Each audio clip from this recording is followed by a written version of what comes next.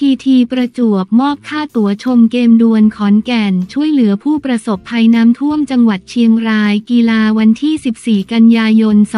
2567 14นาฬิกา3นาที สโมสรทีทีประจวบ FC ทีมในศึกฟุตบอลไทยลีกประกาศมอบรายได้จากการขายตั๋วเข้าชมเกมที่จะดวลกับขอนแก่น FC มอบให้กับเชียงรายยูไนเต็ดเพื่อช่วยเหลือผู้ประสบอุทกภัยในจังหวัดเชียงราย จากเหตุการณ์อุทกภัยน้ำท่วมในพื้นที่จังหวัดเชียงราย สร้างความเดือดร้อนและเสียหายให้แก่ประชาชนในพื้นที่ โดยสโมสรฟุตบอลพีทีประจวบเอฟซีทีมในศึกฟุตบอลไทยลีก ได้เป็นส่วนหนึ่งในการร่วมช่วยเหลือพี่น้องผู้ประสบภัย ด้วยการประกาศมอบรายได้จากการตั๋วเข้าชมเกมนัดพบกับขอนแก่นยูไนเต็ดเพื่อช่วยเหลือผู้ประสบภัยน้ำท่วมในจังหวัดเชียงรายจากเฟซบุ๊กอย่างเป็นทางการของสโมสร ระบุว่า สโมสรฟุตบอลทีทีประจวบ FC ขอส่งกำลังใจให้ชาวเชียงรายด้วยการมอบรายได้จากการขายบัตรผ่านประตูทั้งหมดในนัดเปิดบ้านพบกับขอนแก่นยูไนเต็ดวันที่ 15 กันยายนนี้ส่งมอบผ่านสโมสรฟุตบอลสิงห์เชียงรายยูไนเต็ดเพื่อช่วยเหลือผู้ประสบอุทกภัยในจังหวัดเชียงรายต่อไป ขอให้ทุกคนปลอดภัยและผ่านพ้นวิกฤตครั้งนี้ไปได้โดยเร็ว สำหรับทีทีประจวบ FC จะเปิดบ้านรับการมาเยือนของขอนแก่น FC ในวันที่ 15 กันยายนนี้ในเวลา 19 นาฬิกา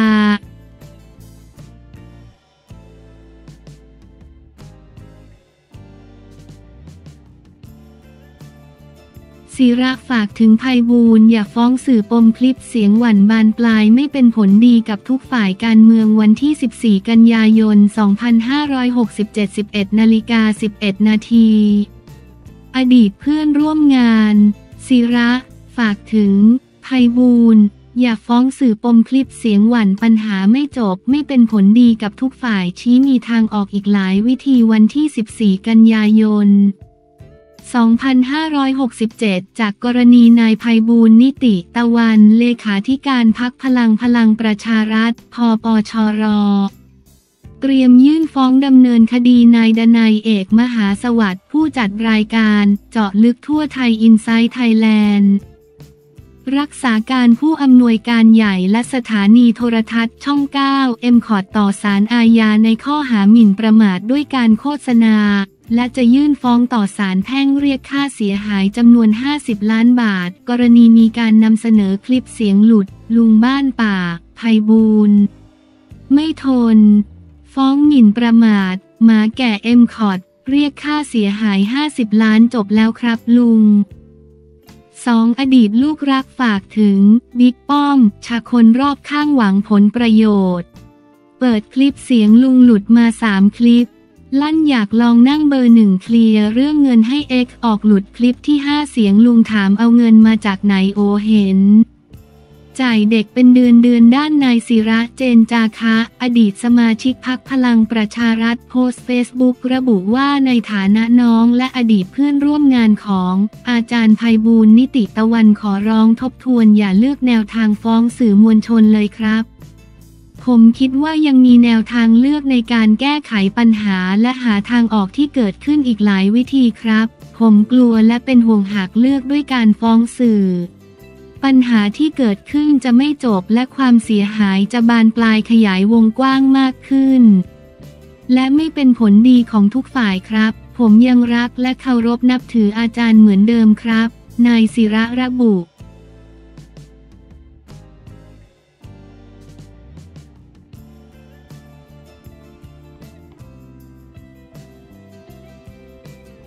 สีนักชกไทยกอดคอฉลุยรอบแรก มวยไทยเยาวชนชิงแชมป์โลกกีฬาวันที่ 13 กันยายน 2567 21นาฬิกา 16 นาทีสี่นักชกเยาวชนทีมชาติไทยกอดคอฉลุยรอบแรกในศึกมวยไทยเยาวชนสมัครเล่นชิงแชมเปี้ยนโลก IFMA Youth World Championship 2024 เริ่มการชิงชัยวันแรกท่ามกลางบรรยากาศสุดคึกคักที่พารากอนฮอลล์สยามพารากอน เมื่อวันที่ 13 กันยายน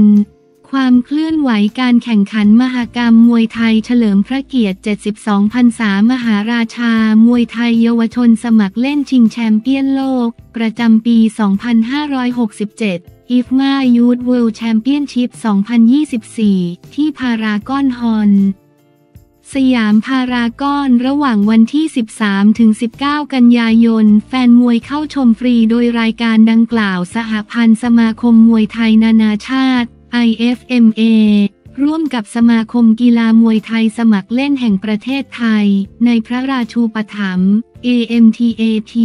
และการกีฬาแห่งประเทศไทย กกท จัดการแข่งขันเพื่อเป็นการต่อยอดขยายฐานกีฬามวยไทยไปทั่วโลก อีกทั้งยังสนองนโยบายรัฐบาลไทยภายใต้การนำของนางสาวแพทองทานชินวัตรนายกรัฐมนตรีในการผลักดัน กีฬามวยไทย ไปสู่การเป็นซอฟต์พาวเวอร์ โดยมีนักมวยไทยเยาวชนจากทั่วโลกสมาชิกของ IFMA เข้าร่วมชิงชัยกว่า 100 ชาติ มีนักกีฬาประมาณ 2,000 คน และผู้เกี่ยวข้องอีก 1,500 คนทั้งหมดรวมแล้วประมาณ 3,500 คน ซึ่งคาดว่ารายการดังกล่าวจะสร้างมูลค่าทางเศรษฐกิจให้ประเทศไทย 500 ถึง 1,000 ล้านบาทในส่วนนักกีฬามวยไทยเยาวชนไทยส่งเข้าร่วมแข่งขัน 26 คนแบ่งเป็นชาย 13 คนหญิง 13 คน ล่าสุดเมื่อวันที่ 13 กันยายน การแข่งขันมวยไทยเยาวชนสมัครเล่นชิงแชมเปี้ยนโลก ประจำปี 2567 IFMA Youth World Championship 2024 ได้เริ่มต้นการชิงชัยเป็นวันแรกท่ามกลางบรรยากาศสุดคึกคัก ซึ่งบรรดานักกีฬามวยไทยเยาวชนจากทั่วทั้งโลกต่างตบเท้าขึ้นสังเวียนในวันแรกทั้งหมด 153 คู่ใน 4 เวทีและประชันฝีมือแม้ไม้มวยไทยกันอย่างเต็มที่ในส่วนของนักกีฬามวยไทยเยาวชนทีมชาติไทยประเดิมขึ้นชกทั้งหมด 6 คนเริ่มต้นที่รุ่น 40 กิโลกรัม หญิงอายุ 12-13 ปี รอบแรก ลักษณาพรมูซิโก หรือฉายามวยไทย เพชรมินตราทอ ย่านดินแดง ขึ้นสังเวียนดวลกับมิเชียล่าดอสตาโลว่าจากเช็คซึ่งผลปรากฏว่าลักษณาพร เดินหน้าออกอาวุธใส่ก่อนเป็นฝ่ายเฉือนชนะคะแนนไปได้ 29 ถึง 28 ทำให้ผ่านเข้าสู่รอบ 8 คนสุดท้ายเข้าไปพบคารีนาเยเซียเนวิชนักกีฬาบุคคลชาติเป็นกลาง Individual Neutral Athlete เอน ต่อไป โดยจะแข่งขันในวันที่ 15 กันยายน ถัดในรุ่น 48 กิโลกรัมยิงอายุ 16-17 ปีรอบแรกทิดารัตกันบุรีเจ้าของฉายามวยไทยทิดาพลอยสิทธิ์ผู้ใหญ่จุก ซึ่งมีสแตมป์แฟร์เท็กซ์เป็นไอดอลขึ้นเวทีพบกับอาลียา ซันเย่ว่าจากคีร์กีซสถานโดยตลอดการชกเป็นทางฝ่ายของทิดารัตที่ออกหมัดสาดแข้งได้จะแจ้งกว่า ก่อนครบ 3 ยกเป็นฝ่ายชนะคะแนน 30 ต่อ 27 ผ่านเข้ารอบ 8 คนสุดท้ายเข้าไปดวลกับออสเกโซยุนคูจากตุรกีโดยจะแข่งขันกันในวันที่ 16 กันยายนหลังการชก น้องตุ๊กตา ธิดารัตกันบุรีเปิดเผยว่ายังไม่พอใจฟอร์มของตัวเองเท่าไรนักในวันนี้ เพราะยังมีผิดพลาดนิดหน่อยในจังหวะที่กาตก และต้องกลับไปแก้ไข การชกรอบต่อไปมีความมั่นใจมาก เพราะซ้อมมาดีเก็บตัวมานาน พอสมควรสำหรับในรายการนี้ตั้งเป้าอยากผ่านเข้าไปให้ไกลที่สุด อยากได้เหรียญทอง ส่วนอนาคตก็อยากที่จะก้าวไปในระดับต่อไปต่อไปให้ไกลได้มากกว่านี้ อยากจะไปในถึงแชมป์โลกขณะที่รุ่น 54 กิโลกรัม ชายอายุ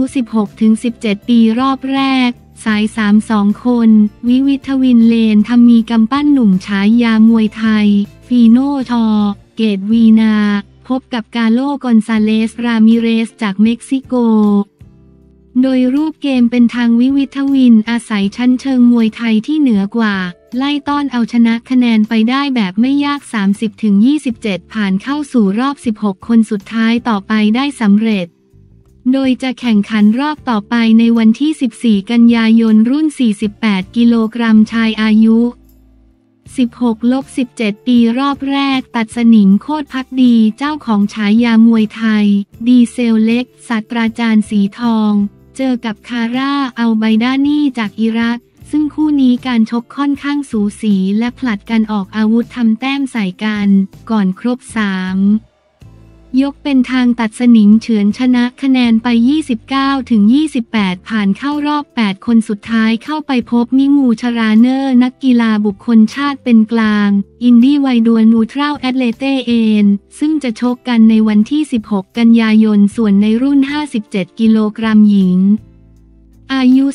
16-17 ปี รอบแรก เอวิตราสอนฤทธิ์ฉายามวยไทย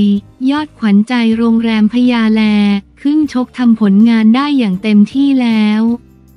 ก่อนเป็นฝ่ายพ่ายคะแนนให้กับเซตาเรมอเชดีจากอิหร่านด้วยคะแนน 27 ต่อ 30ทำให้ต้องยุติเส้นทางไว้เพียงแค่รอบแรกอย่างน่าเสียดาย ปิดท้ายที่รุ่น 60 กิโลกรัม ชายอายุ 16-17 ปีรอบแรกโจดินดูทอยนักชกหนุ่มที่มีเชื้อสายไทยเยอรมันฝรั่งเศส ซึ่งมีฉายามวยไทย โจดินโรงแรมเมืองพญาแล